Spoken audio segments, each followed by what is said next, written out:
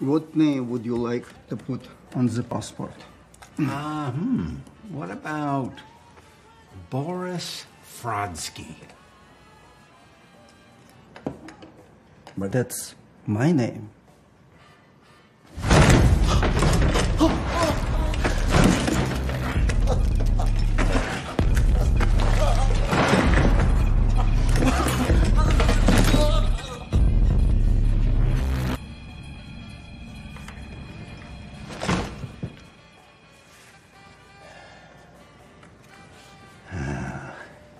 Can't have any loose ends, comrade.